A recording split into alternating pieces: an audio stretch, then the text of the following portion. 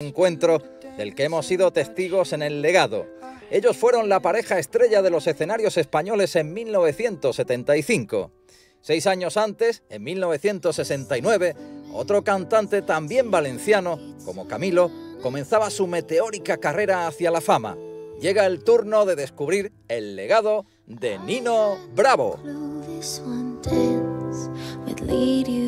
El inicio del éxito de Luis Manuel Ferri Llopis, que desde 1969 será para el gran público Nino Bravo, estuvo marcado por su presentación en el Teatro Principal de Valencia. Días antes, el cantante acudió a la radio de Valencia para hablar así del que sería su debut oficial. Mi tierra tiene palmeras el inicio del éxito de Nino Bravo estuvo marcado por su presentación en el Teatro Principal de Valencia en 1969. Días antes, el cantante acudió a la radio valenciana para hablar de la que sería su presentación oficial. Hoy nos visita en Radio Enlace una de las últimas figuras que han aparecido en esta época in y pop. Se trata del valenciano Nino Bravo. Buenas noches, amigo. Buenas noches. ¿Tu actuación próxima en Valencia o alrededores? Será en Valencia, en un club, pero no puedo decir un nombre porque no está concretado todavía. Será aproximadamente el día 17 de este mes. Allí nos veremos. Mi tierra, mi tierra. El 16 de marzo de 1969, estas calles se agolpaban de personas para presenciar la presentación oficial de una gran voz de la historia de la canción en España, la de Nino Bravo, frente al teatro principal. El artista vestido de blanco, con zapatos a juego, se ganó al público desde su primera actuación, hasta el punto de que cuando terminó el evento, la gente arrancaba los carteles para llevárselos a su casa. Hoy vamos a hablar con una persona muy importante en su trayectoria profesional, con Manu Martínez. Él era su cuñado y también el hombre de confianza de Nino Bravo. Más que el polvo del camino. Ya estoy aquí, ya estoy aquí. Manu. ¿Es que has perdido el tren o qué? Sí, es que está muy lejos. He venido, he venido en barco. Ha venido- caminando. en barco por el Mediterráneo. Tú eres la persona clave que estamos buscando. Bueno, ¿eh? aquí estoy, para ti, lo que haga falta, hombre. Tú, tú estabas con él siempre, con Nino Bravo, siempre estuviste con él, ¿no? Eh, tú eras bueno, su conductor, sí, su sí. amigo, Sí, su sí. manager, road, su todo, ¿no? Sí, sí, sí, sí, fui su road manager, su amigo, eh, medio familiar, sí, sí, hermano político. Claro. Y nada, aquí estoy para, para atenderte. Y cántala conmigo.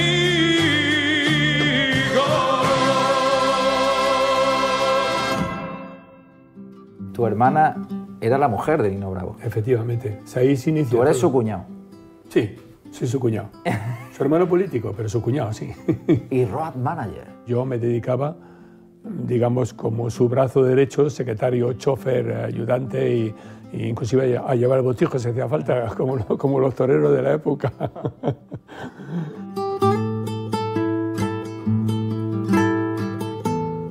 Mucha gente piensa que Nino lo tuvo muy fácil en su carrera y no es así la historia. No es así la historia. Nino lo tuvo súper difícil llegar donde llegó porque él empezó con 14, 15 años y le costó muchísimo cantando en diferentes grupos con dos amigos que tuvo, que puedo nombrar, que son Pepe Juezas y Vicente López, que formaron después los Superson. Empezamos muy jovencitos, eh, pues eso, pues a cantar las canciones de moda de aquella época, Mavi, por ejemplo, o, todas las canciones italianas. Y la verdad es que siempre que cantara lo que cantara, desde el primer momento, nosotros y toda la gente, pero otro más, sabíamos, sabíamos lo que había, sabíamos lo que, lo que teníamos. Ese chico era un chico que tenía una voz privilegiada.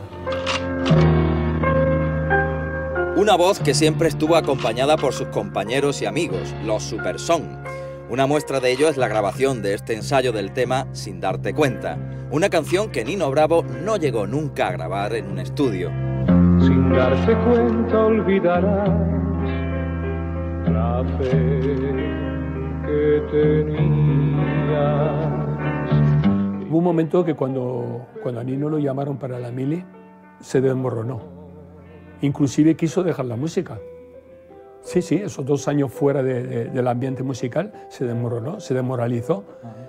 Y al acabar la mili, sus amigos, en, ese momento, Pepe Juezas y Vicente López, lo animaron, que tú vales, que tal, que no sé cuántos, y, le hicieron ver que, era una persona mm, con una voz impresionante y que tenía una tesitura que podía llegar a cualquier canción sin ningún problema, y al final parece que él lo aceptó y se tiró para adelante. Si yo crecí como todos crecemos, jugando, jugando, si yo viví como todos, soñando, soñando, y conseguí lo que tengo, luchando, luchando. ¿Cuándo le ponen el nombre de Nino? El nombre de Nino Bravo se lo pone un manager que tuvo, que era Miguel Ciurán, en la época, y según tengo entendido fue una, una casualidad. Vino de un tema italiano, de lo de, de, lo de Bravo, Bravo, Bravo, en Italia se, cuando se aplaude siempre se dice Bravo, y a este señor se le ocurrió la palabra Bravo y lo de Nino, y Bravo, Nino, Bravo, Nino, Bravo, Nino. Y al final dice, vamos a poner Nino Bravo. Y no se quedó. ¿Y tú cómo le llamabas? Yo a él, Nino. ¿Ah, sí? Sí, siempre. Personalmente, Nino. Nunca lo llamaba Luis Manuel. Nunca. ¿Y la gente que lo rodeaba y todo? Nino. ¿Ah, sí? Sí. Sí, sí, sí. A, lo mejor la gente, eh, sus padres a lo mejor lo llamaban pues Manolito o Luis Manuel. Pero eh, yo personalmente y todos los demás era siempre Nino, diminutivo. Luis Manuel Cerrillopis eh, para mí es uno de los tipos más fundamentales en la música. Nunca entendí cómo Nino Bravo era capaz de sacar esa caja de resonancia tan bestial que tenía para cantar, Un beso, una flor, América y muchas canciones, o Noelia, y cómo sin moverse podía sacar ese chorro de voz. Fíjate lo que te estoy diciendo, es que Nino Bravo no se movía.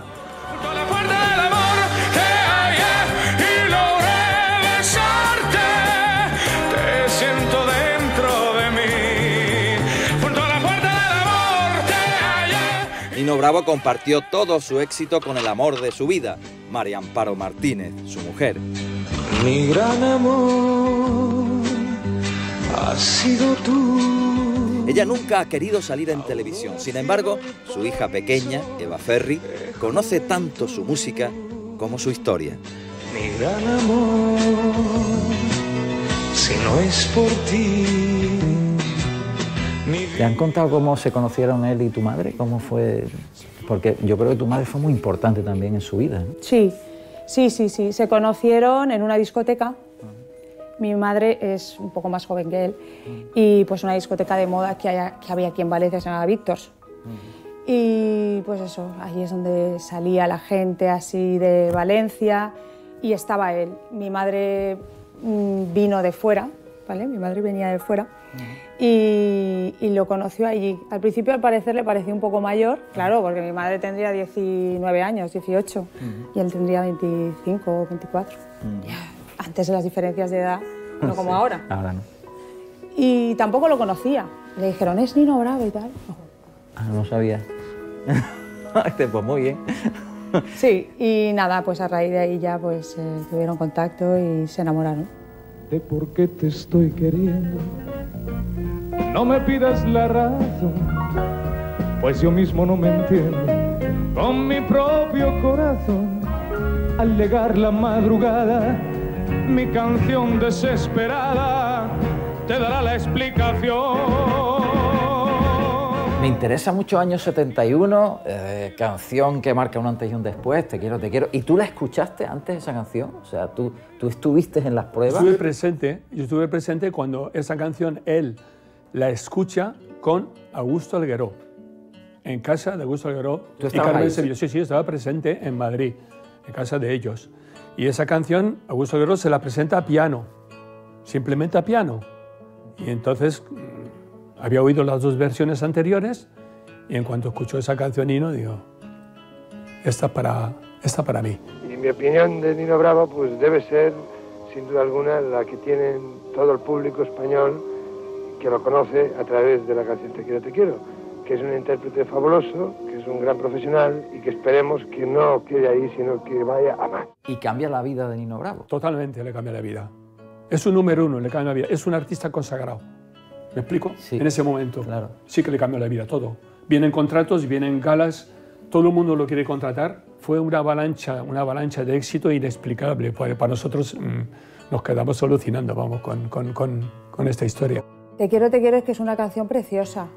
Es una canción que aparte eh, y, eh, fue uno, el disco donde le pidió el matrimonio a mi madre. Me digas. Sí, entonces le, le- le pidió matrimonio en el single de Te quiero, te quiero y mi madre le contestó un sí gigante. Entonces es una canción especial sí o sí. O sea, que marca su vida en todos los sentidos, en el aspecto profesional y en el aspecto personal. Sí, sí. Te quiero,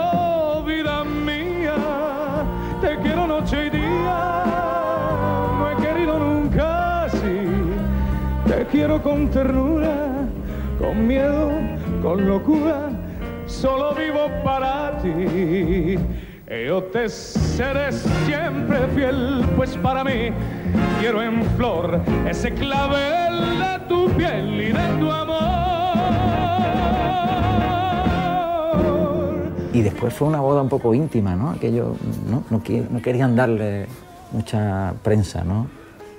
Querían que fuera íntima, Ajá. que es distinto. Mm. Pero de íntima no fue.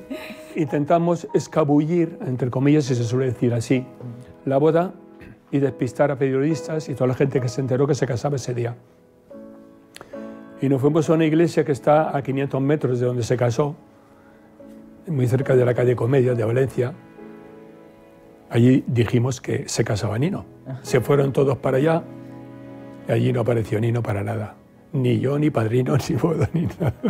Estábamos a 500 metros enfrente en la plaza de Tetuán y ahí es donde se celebró la boda. Hasta que se enteraron, se enteraron, imposible de ocultarlo, Salió en todos lados. todos lados. Salió en revistas, salió en todo y, y al final Nino en un principio, hombre, eh, eh, se- enfadó un poco, pero mm, No había le remedio. dijimos lo que estamos al lado. Es un día más feliz de tu vida, según tú en este momento.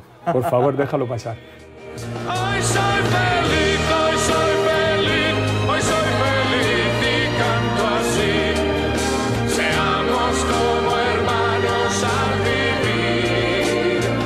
Hoy soy feliz, hoy soy feliz, hoy soy feliz y canto así.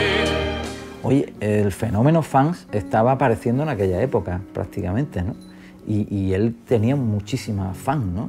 Eh, Tu madre era celosa. Pues mi madre no. No ha sido nunca nada celosa, porque además, como sabía que él estaba pues súper enamorado, yo creo que es que ni se lo planteaba, que va, para nada. No. Después era una persona que quería estar en casa, ¿no? O sea, que pese a que viajaba mucho, eh, tenía lo que yo llamo querencia, ¿no? Sí, bueno, lo que cuentan en casa es esto, que él viajaba, tenía que viajar mucho, estaba mucho tiempo fuera, o bien se llevaba a mi madre, no, que se la, que se la llevaba, o bien hacía volver a mi tío a casa, aunque estuviera en la Conchinchina. Y tu madre entonces la acompañaba a muchos viajes.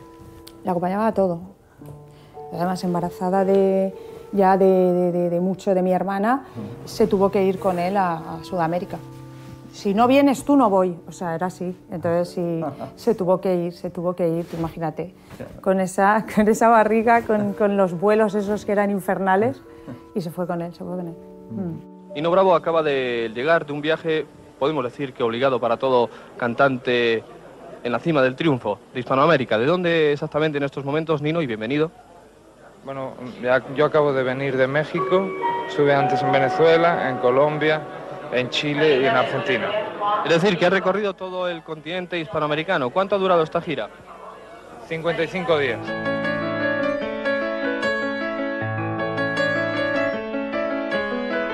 Manu, ¿cómo le afectó a Nino Bravo ser padre? Porque fue padre muy pronto. Ostras.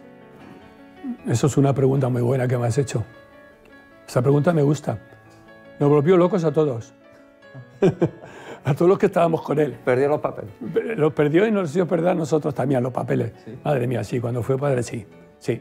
Porque cuando estábamos de viaje por ahí, de galas, que nosotros a lo mejor, en un verano, a lo mejor en mes de julio o, o agosto, hacíamos 20 galas o 25 galas en un mes.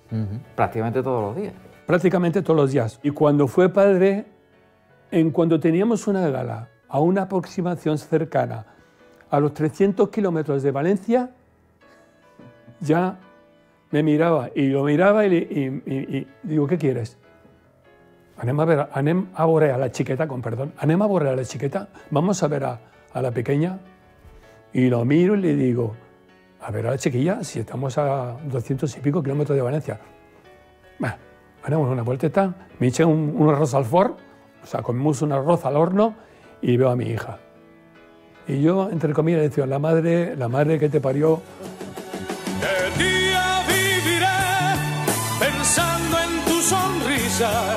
De noche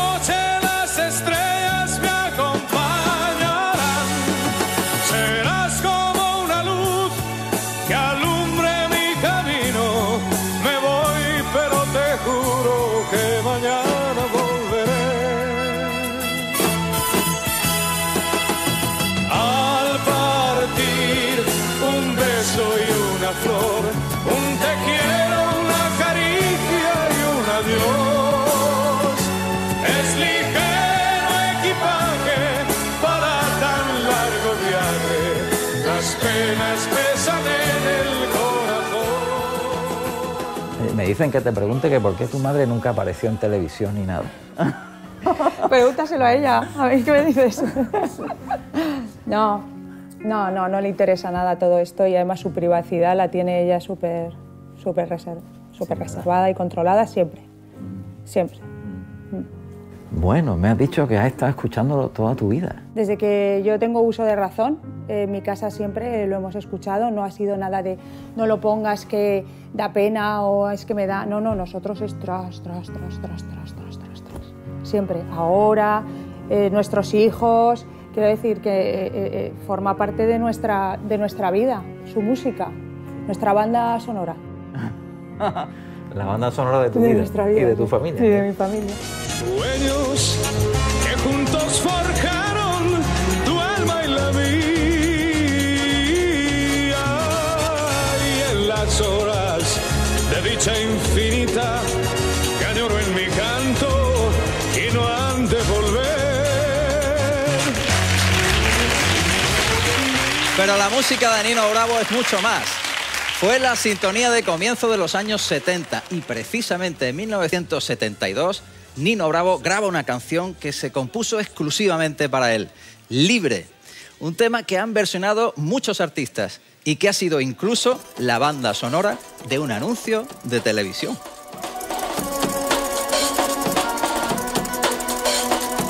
Tiene casi 20 años y ya está cansado de soñar. A finales de los 90, el chaval de la peca nos vendía móviles con una versión discotequera de Libre. Como el sol cuando amanece, yo soy libre como el mar. Más reciente es la original versión del tema que hacen en el anuncio de una página web para buscar aparcamientos. Cuando busco aparcamiento hay huecos libres sin cesar. Tiene casi 20 años. Pero lo que poca gente sabe es que detrás de un tema tan pegadizo hay una historia real muy triste.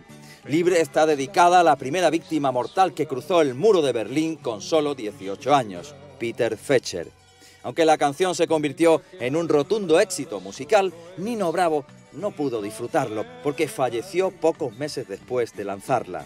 Hoy tenemos el privilegio de escuchar un tema tan mítico como Libre la versión de Kiko y Sara.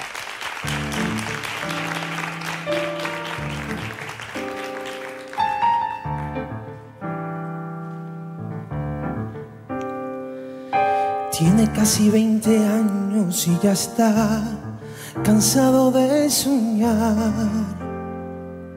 Pero tras la frontera está su hogar, su mundo, su ciudad.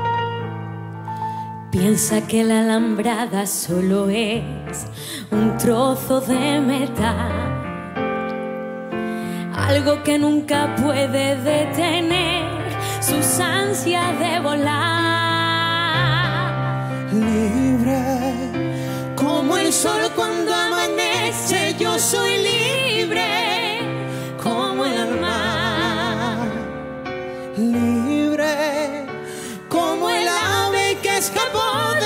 prisión y pueda al fin volar libre como el viento que recoge mi lamento y mi pesar. Camino sin cesar detrás de la verdad y sabré lo que es al fin la libertad.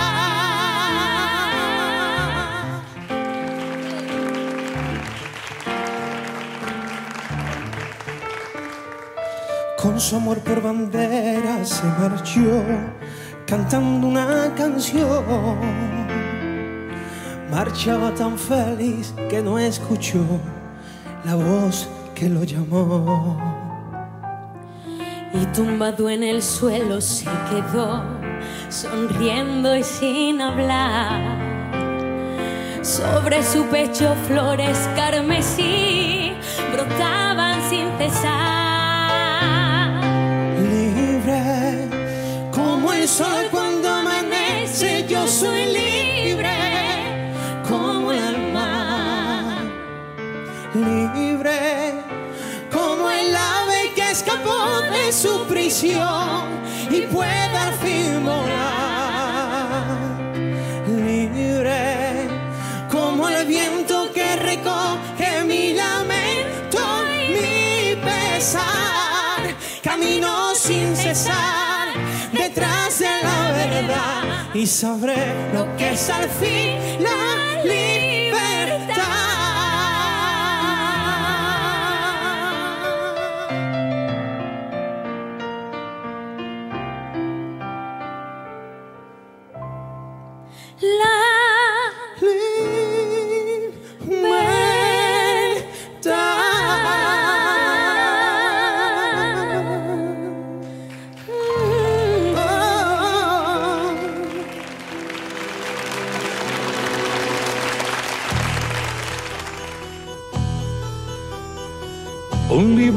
libro quedará abierto, una carta sin escribir.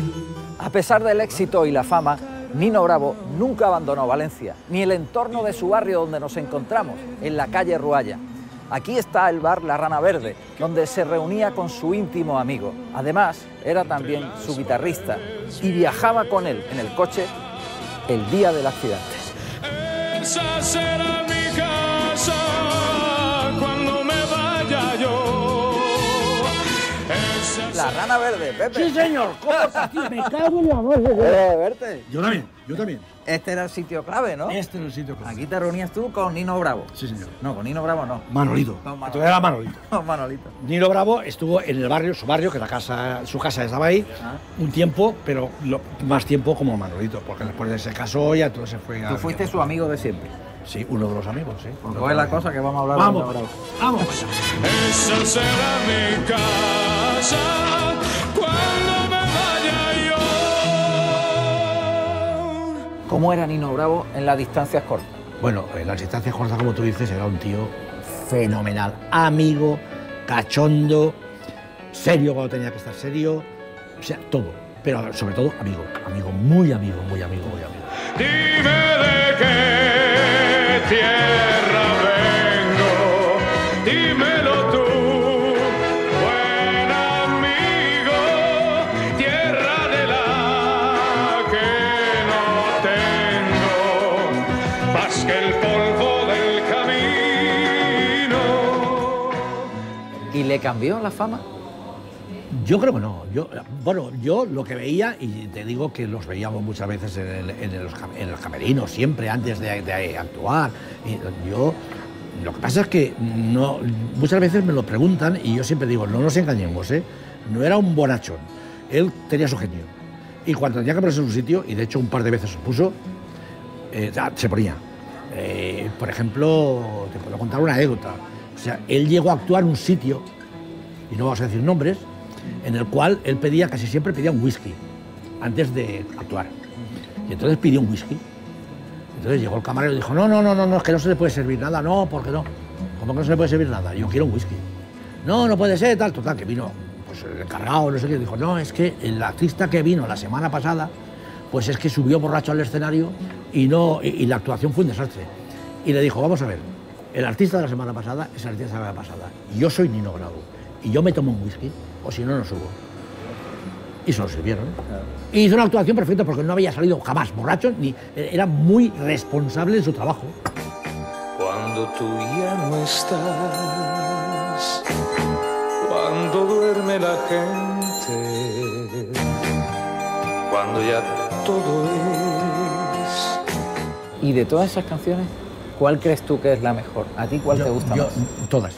Pero me quedo, aparte de la voz, con la forma de decir, con la forma de interpretar, con la forma de respirar. Era fuerte, potente, era, eh, era enorme. eh, ese, ese caudal de voz que tienen casi todos los cantantes valencianos, pero él era con una calidad extraordinaria, ¿no? Hace tiempo que no he vuelto a verla y ya no sé qué será de Noelia. Por la noche la busco en la playa y en el silencio yo grito, Noelia. En 1973, en pleno apogeo de su carrera, Nino Bravo sonaba en las radios de medio mundo. Nadie esperaba que su actuación en los jardines de Neptuno sería la última. Un trágico accidente apagó su voz para siempre. En la actuación en los jardines de Neptuno, ¿tú tuviste la sensación de que podía ser la última o no? No, que va, que va, que va. No. La semana anterior yo había estado en Madrid con él grabando temas suyos y vine de Madrid. Y a los dos o tres días me llama por teléfono, oye, Pepe, que tú, yo estaba ensayando con el dúo Humo, y me llama y me dice, oye, Pepe, tú tienes que venir a Madrid con ellos porque ellos no han grabado nunca y tú has estado ensayando con ellos. Y entonces mi mujer que oyó el teléfono dice, nene, ¿te vas a ir a Madrid otra vez? Y te fuiste con él al viaje. Hombre, no tenía que irme. Era el día El 16 de abril. de 1973. partir, un beso y una flor, un te quiero, una caricia y un adiós. Es ligero equipaje para tan largo viaje, las penas pesan en el corazón. Como les hemos informado en anteriores servicios informativos, el cantante Nino Bravo falleció ayer en accidente de automóvil en la carretera de Valencia a Madrid. Se produjo el accidente en la provincia de Cuenca, en el término de Villarrubio. Nino Bravo estaba casado y su esposa había dado a luz una hija en enero del pasado año y espera otro para finales de este.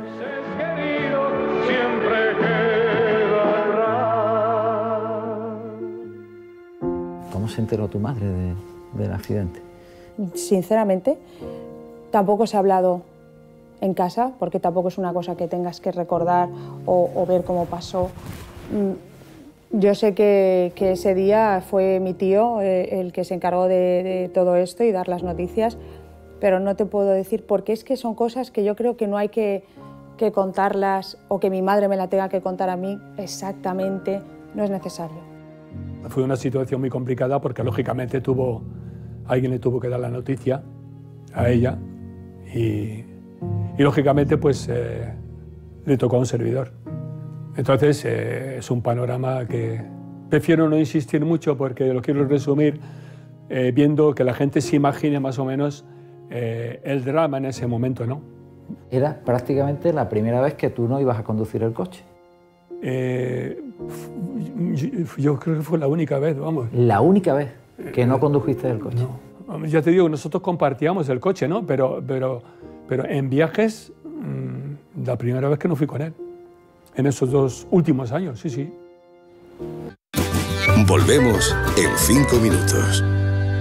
Los que iban detrás también participando. En ese momento, pues a lo mejor no recuerdo si eh, eh, estábamos hablando, pero lo que sí que recuerdo es esa, esa, esa forma de mirar sin ver y que tenía que decirle, Nino, cuidado. Como persona, me hubiese gustado haber ido en ese coche, por supuesto, sin lugar a duda. Haber ido en ese coche, yo. Ese era mi sitio y mi lugar. En ese momento, yo me tiré muchos años, pues lógicamente, eh, muchos años eh, mal pensando, yo tenía que haber esto allí, yo tenía que ajeno a un accidente o ajeno a un accidente. Mi sitio era aquel. Y aquel día no estuve.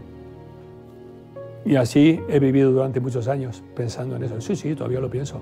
Pero lógicamente es una cosa que ya es pasada y lo tengo asimilado. Está muy claro. está muy claro. Pero aún sigue ese gusanillo. ¿Por qué? ¿Por qué? Pues, pues no lo sé. Destino de la vida.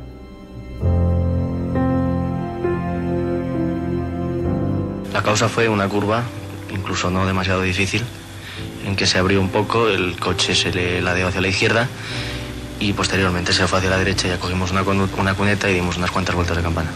Tengo cosas grabadas en la mente que han pasado 46 años y no se me han olvidado. Y creo que no se me olvidarán jamás. Además, con, con tono de voz y todo. Con tono de voz. De ese momento. Luis Manuel Ferris tuvo conciencia, estuvo hablando con ustedes. Mm, Conciencia plena para estar hablando con nosotros, no. Él se quejaba y se daba cuenta, nos pedía ayuda, pero claro, no, no, no se la podíamos dar. Estuvimos un rato los dos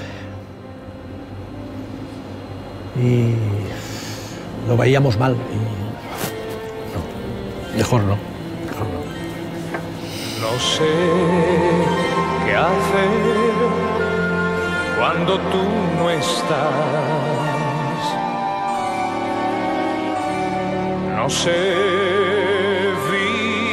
vivir esta soledad. Se fue mi amor.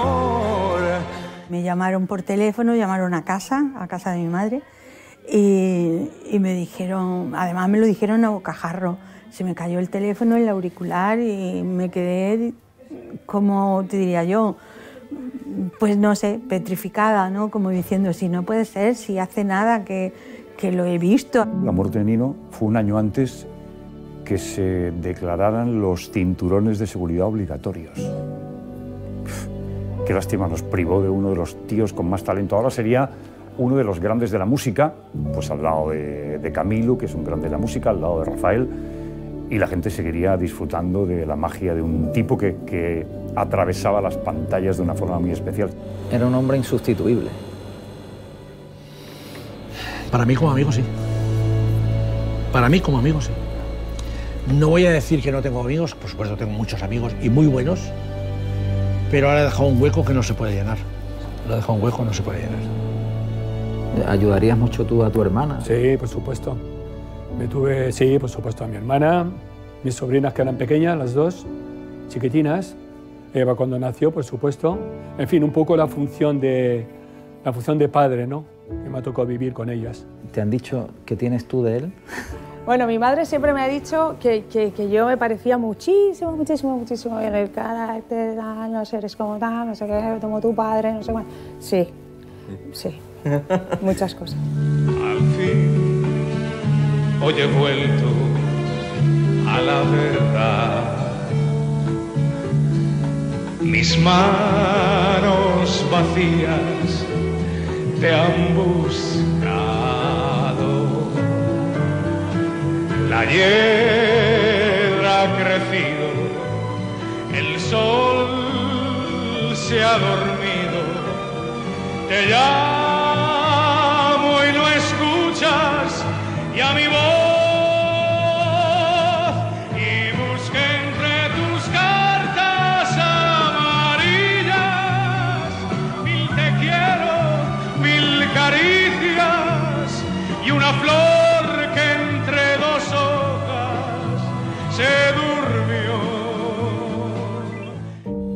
ti, ¿cuál es el legado que dejó Nino Bravo? Pues su legado, aparte del artístico, que eso es eh, o sea, incontestable, el legado como persona humana. o sea, Nosotros somos su legado personal. ¿no? Y, así nos- y así lo sentimos nosotros también.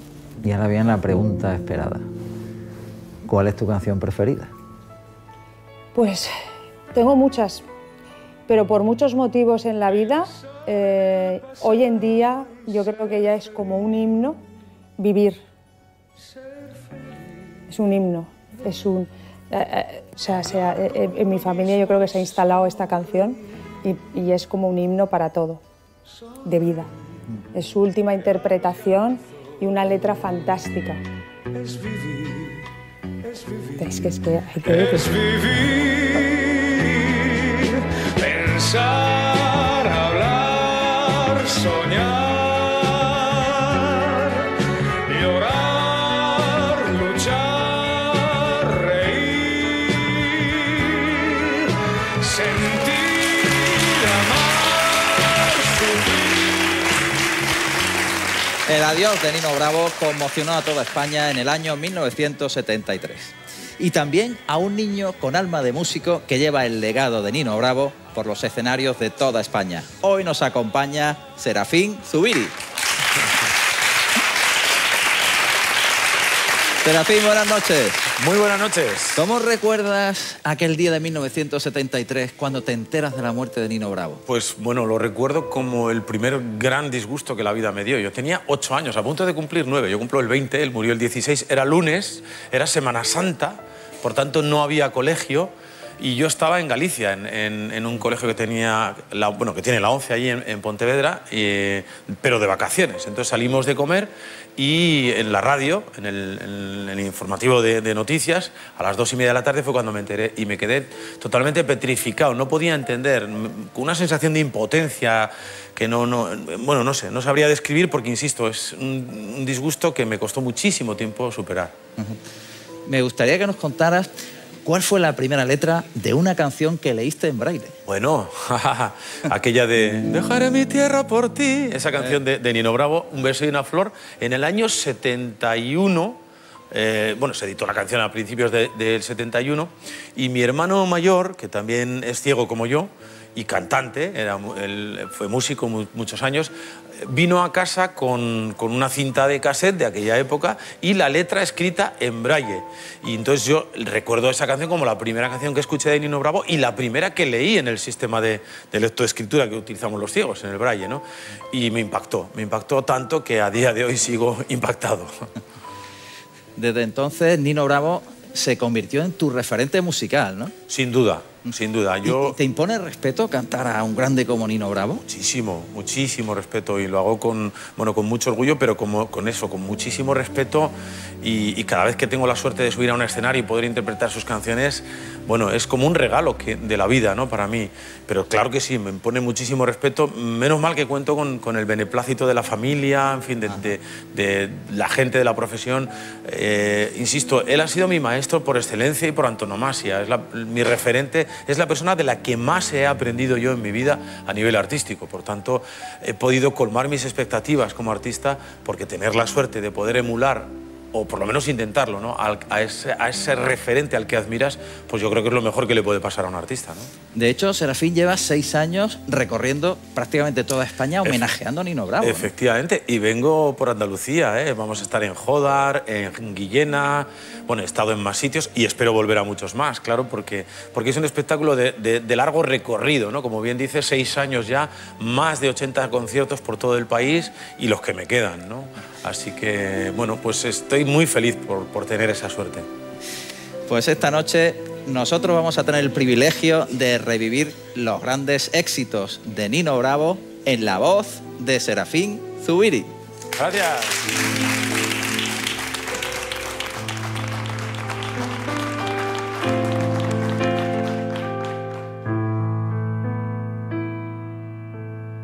de por qué te estoy queriendo.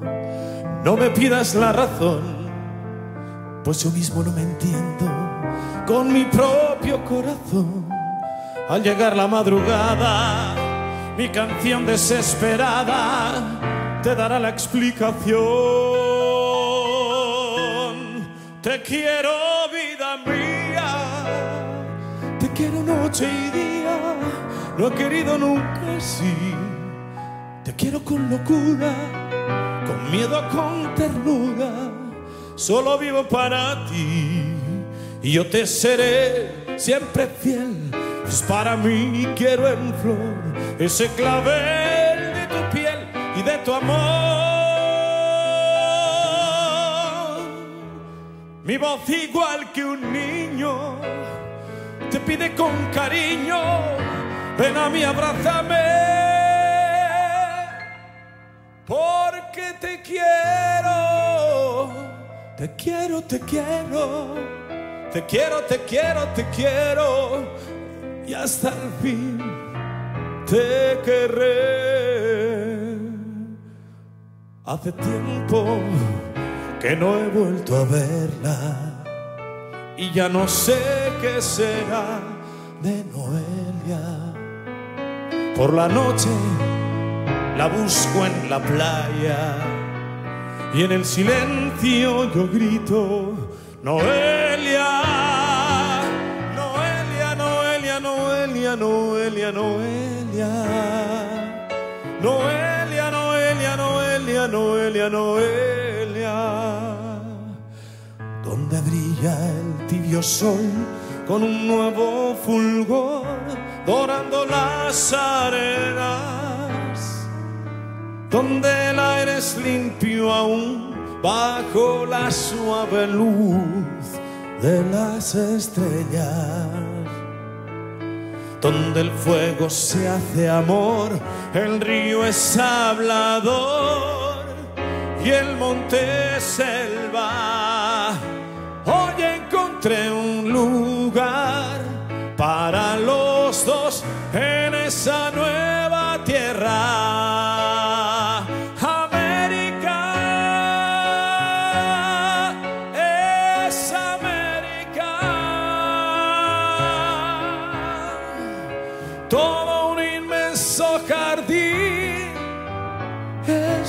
América. Cuando Dios hizo el Edén, pensó en Nino Bravo.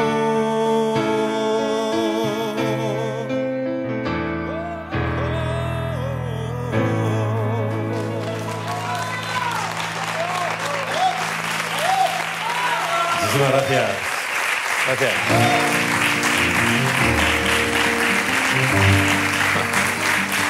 ¡Bravo!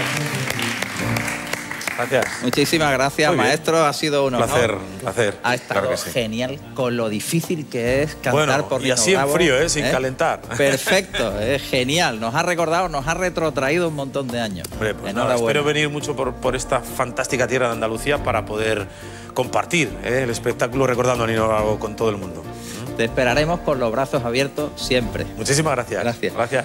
Hasta y hasta aquí el legado de dos genios de la canción que triunfaron en los años 70, pero que mantienen vivos su legado y sus éxitos hoy en 2019. Nos vemos la próxima semana para descubrir un nuevo legado y por supuesto acercarnos a la historia de los grandes personajes que han marcado nuestra vida. Hasta la semana que viene. Vamos.